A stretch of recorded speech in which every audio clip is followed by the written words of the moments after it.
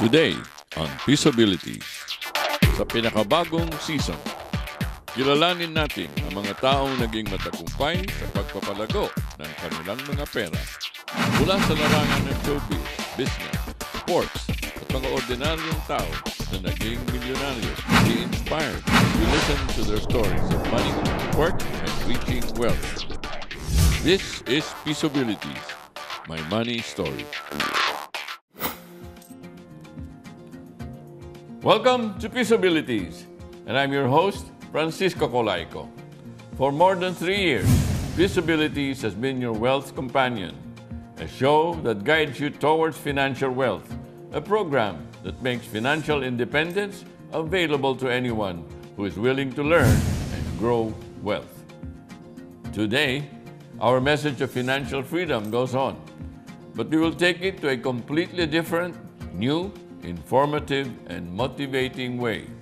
At sa pagpasok ng Season 8 ng Peaceabilities, we will be featuring the lives of real people who will share their experiences of challenges, failures, and success. Learn from real people with their real money life situations. At ang unang kwentong aming itatampok ay ang aking istorya. Mga kaibigan, it is my pleasure to share with you my money story. He is a very idealistic person and he likes to teach talaga. Makabayan siya. Everything he does pag nagsalita yan, ay, ang bayan natin, ang mga tao, para bang kulang na lang hero din siya. Kilala bilang isang author, financial advisor, businessman, CEO ng sariling kumpanya at marami pang iba. Tila may tuturing na nga bilang isang financial guru. Pero paano nga ba niya narating ang kanyang tagumpay? Hindi lamang sa kanyang buhay pinansyal, kung maging sa kanyang personal na buhay.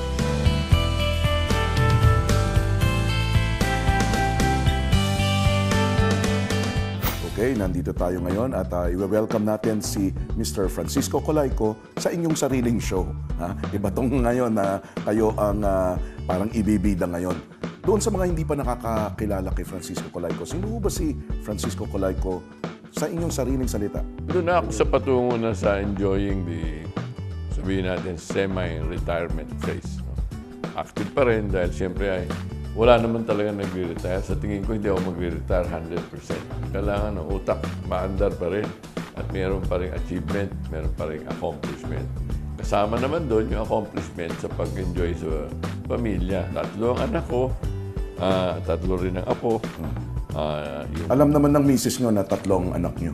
yung pagkaalam ko, alam niya rin, no? So, yung ah, simple, simple naman ang aming lifestyle. no? Comfortable, hindi luho. Ako, I'm on that road. No? Na-identify ko na yung ginagawa natin ngayon, yung advocacy of sharing the learnings that I've had in my life.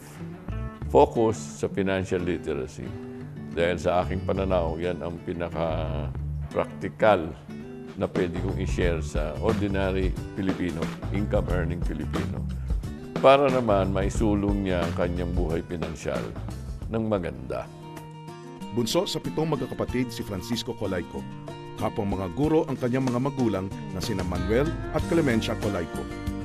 I'm proud to say na national hero father ko. Hindi ko na siya nakita.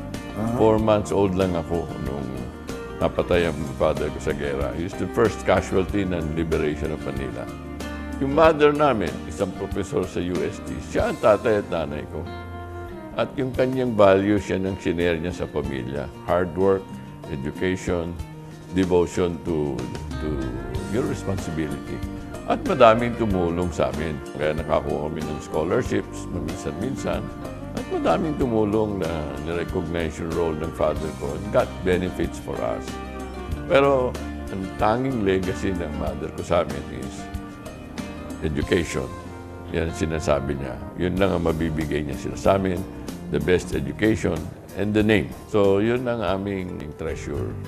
Ano yung mga best memories nyo na walang kinalaman muna sa pera when you were growing up? Childhood ko, nung kami sa neighborhood namin na very ordinary sa Pasay, medyo tough pa nga eh. Mga kalaro ko noon, tricycle driver, magyayelo. Mga kaibigan ko lahat yan. Saan lugar to, Mr. Colaico? Sa Pasay City, sa Colayco Street. Colaico Street. Pinangalan yun sa, sa in honor of my father. So, doon kami lumaki. It's a very ordinary neighborhood, typical neighborhood. Skinita, tapos sa next calle, Taft Avenue na, maluwag na.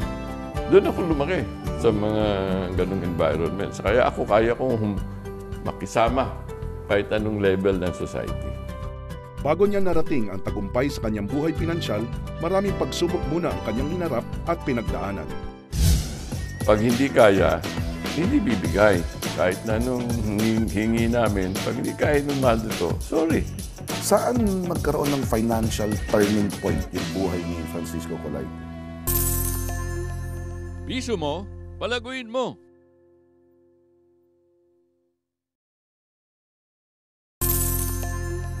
Piso mo, palaguin mo.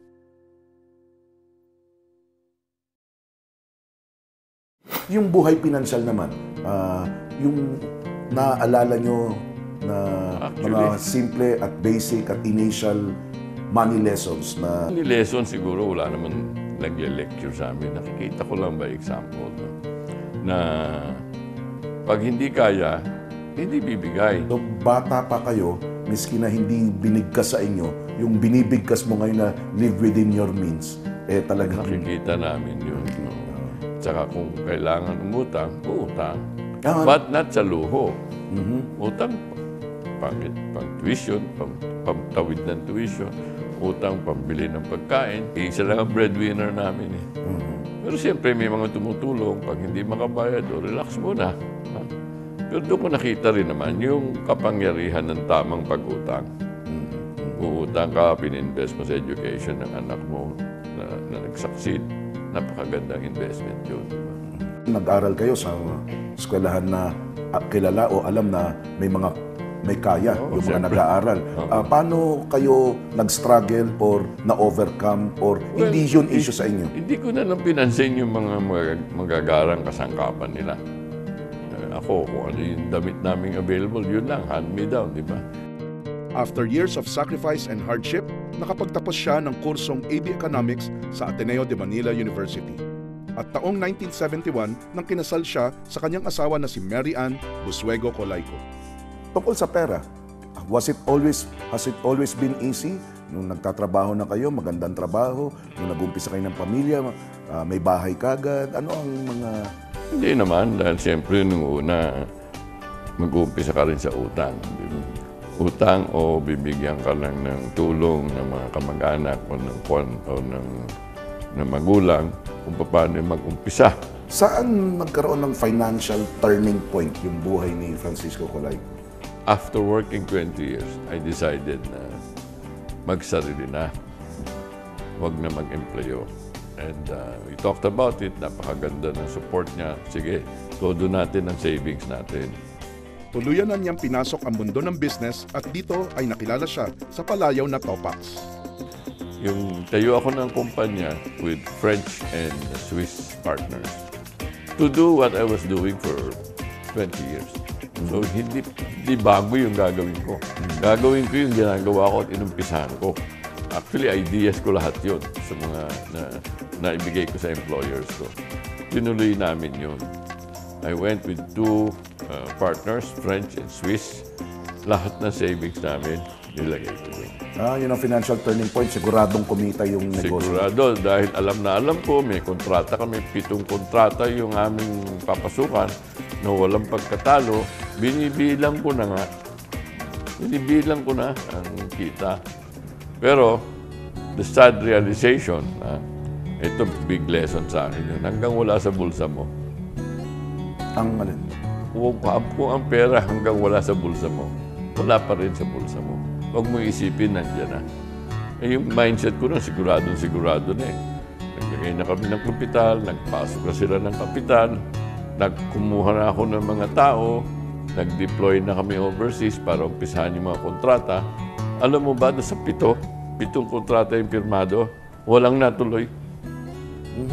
Wala, zero. Pirmado yun. Pinauutang na kami ng bangko tungkol doon. Napakaganda.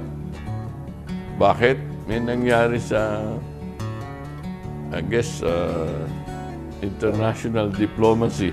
Ha? binawal yung mga Pilipino. So nawala yung kontrata namin.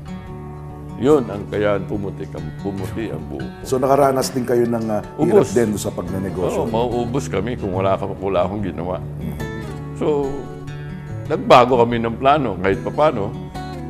Nilapitan ko yung mga dati kong kliyente na binigyan ako ng alternative contracts.